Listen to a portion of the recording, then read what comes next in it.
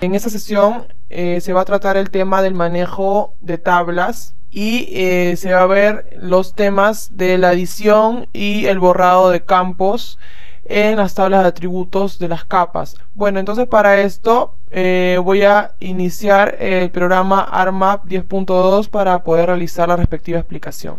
Tengo un proyecto en blanco como pueden observar. Entonces para realizar la explicación de la adición y la, mm, el agregado de campos en la tabla de atributos voy a abrir eh, un, un shape en este caso. Eh, voy a abrir un shape de curvas de la hoja 13i. Mm, es información descargada del servidor gratuito eh, Minedu. Vamos a arrastrarlo hacia nuestra ventana de visualización. Y bueno, ya lo tenemos como capa aquí en mi tabla de contenidos. En el marco de datos layers. Para poder visualizar eh, una tabla de atributos, vamos a dar clic derecho sobre la capa, sobre el nombre de la capa y un clic en abrir tabla de atributos. Tenemos aquí ya la ventana eh, donde se me muestra mi tabla de atributos. Eh, está compuesta por una serie de filas que me indican los registros, los que representan cada elemento espacial eh, perteneciente a la capa, en este caso la capa 13i-curvas. Y bueno, una serie de campos, en este caso como fit, shape, que me indica el tipo de geometría, que en este caso son polilíneas, porque estamos tratando de curvas de nivel. A la derecha tengo el campo Z, que me indica la altitud, eh, los metros sobre el nivel del mar por cada curva, ¿no? Y en este caso por cada elemento espacial que serían las curvas en este caso. Y bueno, al lado derecho tengo em, el campo código, ¿no? que es información eh, adicional que nos proporciona la entidad em, que ha generado esta información. Bueno, em, tengo aquí ya la tabla de atributos abierta.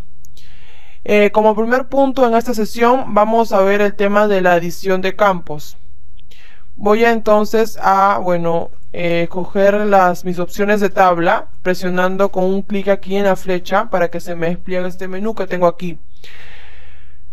Tengo la opción de Add Field o agregar campo. Voy a darle un clic para agregar mi campo. Se me abre una ventana en donde yo puedo colocar en primer lugar mi, eh, el nombre del campo que yo voy a generar. Supongamos que, bueno, quiero agregar eh, un campo llamado clase. Voy a escribir clase en la barra donde me indica name o nombre. Se puede escribir con mayúsculas o con minúsculas como se desee que se muestre. En la parte de abajo tengo lo que es tipo, ¿no? Eh, en tipo me va a indicar em, el formato de em, la información que se va a ingresar en el campo, ¿no? Em, por ejemplo, en el caso del campo Z es información numérica. Entonces, ARMGIS me proporciona seis tipos de campos para las entidades, ¿no? Dependiendo, ¿no? Si vamos a ingresar eh, información numérica, como en el caso de Z, se tendrá que escoger entre una de estas opciones. Al igual que si solamente vamos a escribir letras, tendría que yo escoger un tipo textual. Si voy a eh, escribir en el campo lo que es eh, fechas, por ejemplo, podría también escoger uno de estos tipos. Bueno, aquí tenemos una mejor explicación de lo que son los tipos de datos que van a tener nuestros campos. Em, en short integer o lo que son los enteros cortos, ¿no? Em, como su mismo nombre lo dice, se va a escoger este tipo de campo cuando vamos a ingresar información en nuestro nuevo campo que sean números enteros, ¿no? La información que vamos a ingresar en nuestro nuevo campo eh, sea un número que se encuentre entre los menos 2 y 2 billones aproximadamente. Es decir, entre menos 2 billones aproximadamente y 2 billones aproximadamente.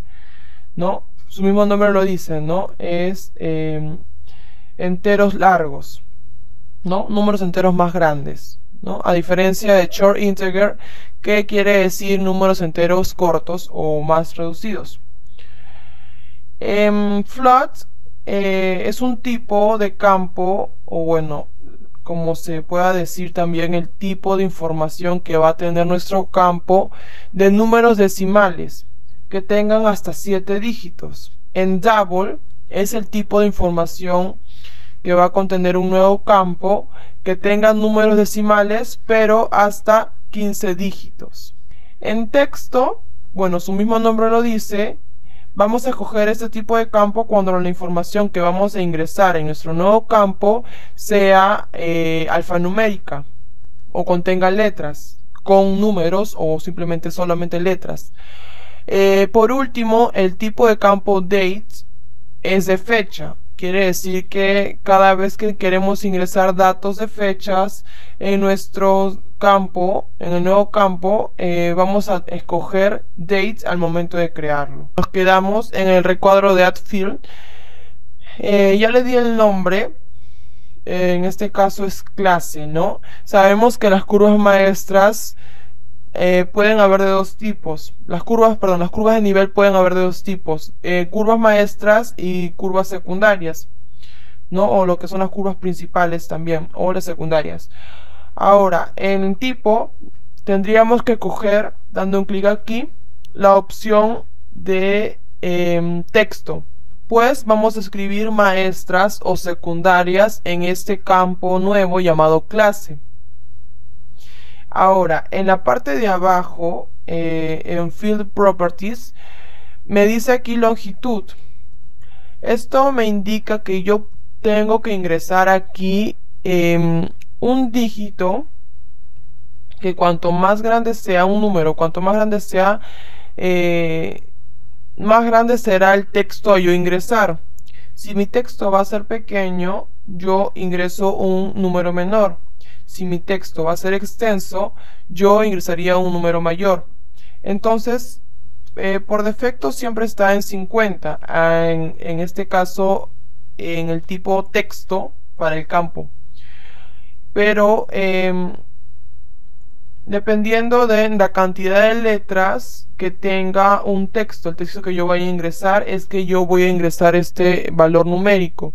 Pero en este caso, maestras, em, tiene pocas letras, al igual que secundarias. Entonces yo puedo ponerle un número 20, por ejemplo, porque voy a ingresar textos no muy grandes en este campo. Y luego darle clic en OK. Ahora vemos que en mi tabla de atributos se agregó un nuevo campo llamado clase, ¿no? Con una longitud de 20 para cada registro. Posteriormente, el proceso de ingresar la información em, por cada registro o por cada curva de nivel o como se quiere decir por cada elemento espacial que corresponde a esta capa em, se verá más adelante. Ahora em, al momento de, bueno, crear un campo, adicionarle la información, nosotros también podemos realizar la acción contraria, que es eliminar un campo. Para esto, vamos eh, a dar un clic derecho sobre el nombre del campo y escoger la opción de Delete Field o eliminar campo. Eh, esta acción se realiza comúnmente cuando tenemos un campo que nos resulta innecesario y bueno, nos ocupa mayor espacio en nuestra tabla de atributos. En este caso el campo código me resulta a mí em, innecesario, pues no me proporciona información que yo conozca y bueno, con la que yo pueda trabajar, ¿no? La información más importante que puede tener una tabla de atributos en, el caso de un shape de curva de nivel sería el campo Z, ¿no? Que me indica la altitud por cada curva. Entonces código, yo le voy a dar un clic derecho sobre su nombre y voy a dar en la opción de Delete Field. Bueno, me salió un aviso en donde yo le voy a dar la opción de sí. Y como pueden ver, se elimina. Sabemos que cada campo se puede desplegar y se puede ampliar. dando un clic entre campo y campo y arrastrándolo, soltando el clic eh, en la medida donde se desee dejar la extensión del campo. Así, de esta manera. Bueno, esto ha sido todo por este video. No olviden suscribirse y activar la campanita para que YouTube les avise para mis próximos videos. Y si tienen alguna pregunta o sugerencia pueden dejarla en los comentarios. Además, en la caja de descripción les estaré dejando las listas de reproducción del canal y mis redes sociales. Nos vemos en el próximo video.